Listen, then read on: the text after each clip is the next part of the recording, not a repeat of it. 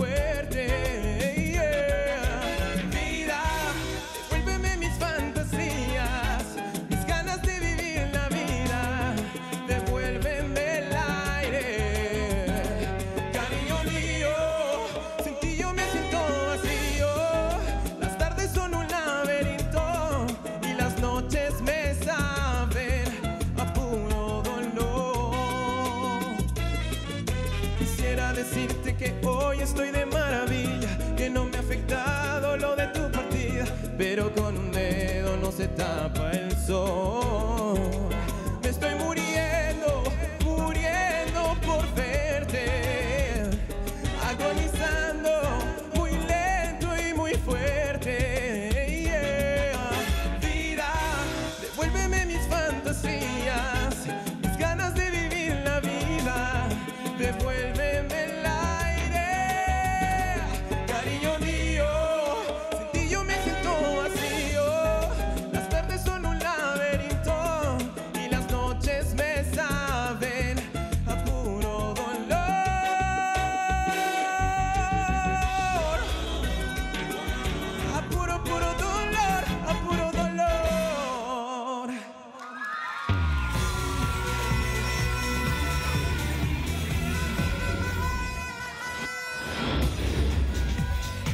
Buenas noches. Hola David, buenas noches.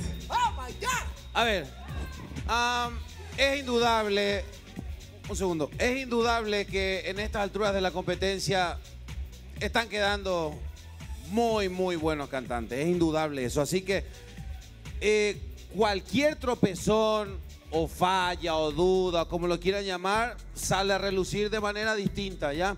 Yo voy a destacar algo que no he visto en vos. Me preocupó a momento. ¿Y a qué me refiero?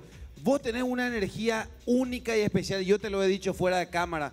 Y te lo voy a decir puntual cuando. Cuando cerrás tu ojo y estirás tu brazo izquierdo. Porque desde el comienzo hasta la mitad de la canción no hubo esa magia que Rodrigo siempre regala. Después, caramba, hermano. De verdad te lo digo, tu energía, cada uno tiene lo suyo, pero vos tenés una energía muy especial. No sé, llámenlo ángel, llámenlo energía, llámenlo como quiera, pero es algo extraordinario que pocos tienen. Una versión interesante. eh, que recuerde mi retina, no tengo memoria, no tengo recuerdo de haberte escuchado algo así. Creo que ha sido muy bueno salir un poco de esa zona de, de- del Rodrigo Anglo que, que tenemos, esos, esos fraseos, esos melismas. Este, me quedó una dudita al comienzo del falsete, pero en líneas generales, Rodrigo, pucha, mi admiración siempre estuvo hacia tu persona, hacia tu arte. Sos un chico con un, con un futuro enorme. Pero repito, eh, en estas instancias de la competencia los detalles salen a relucir. No estoy diciendo que fue una mala presentación, pero es al 2000%, hermano. De todas maneras, repito, recalco, insisto, tenés un futuro brillante, hermano. Gracias, David. Mil gracias. Rodrigo, mira que yo quién diría, ¿no? Que Rodrigo todo tranquilito, por ahí lo veo a veces en los pasillos. Y mira, con lo que nos venís a sorprender, de verdad que eh, es hermoso ver cuando los jóvenes van aprendiendo las lecciones.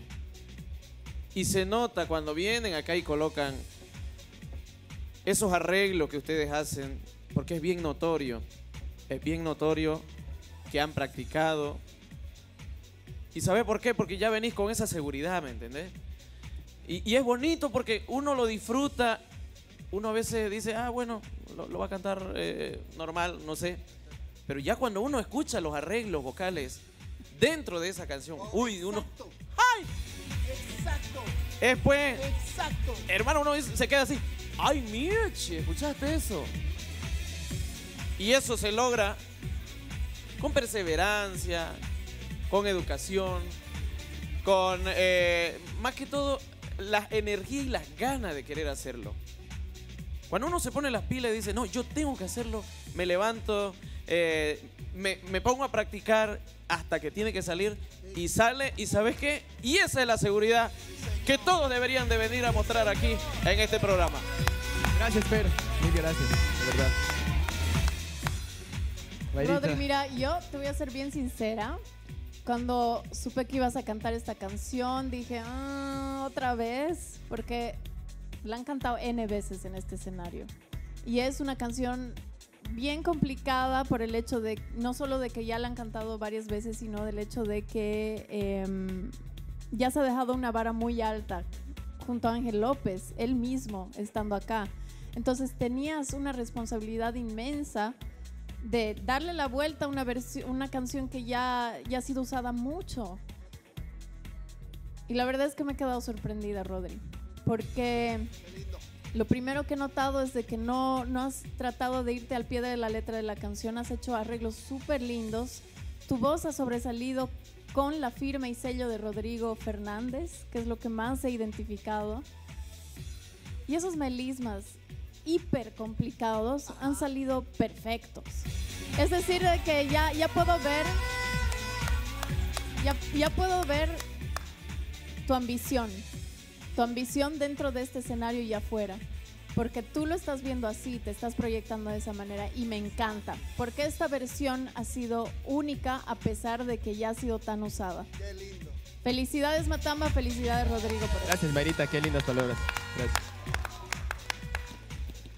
Familia, loco. Hermano, a ver, ¿por qué es tan complicada esta canción, familia? ¿Y por qué merece un mérito especial lo que hizo Rodrigo? Originalmente, la canción se canta en el cuarteto, aunque el maestro Ángel López es la voz principal de, este cuarteto que era eh, el grupo que él lideraba grandiosamente, sin lugar a dudas, sin lugar a dudas espacios de descanso. Número uno, al tener apoyos vocales tenía espacios de descanso. Aún así, esto se cantaba sentado, lo cual te daba un espacio mayor a que tu oxígeno pueda recuperar. Rodrigo esto estuvo todo el rato acá, soltando la canción que no está en negra, no está en negra, está en corchea. Está en taca, taca, taca, ta, ta, ta, ta, ta, ta.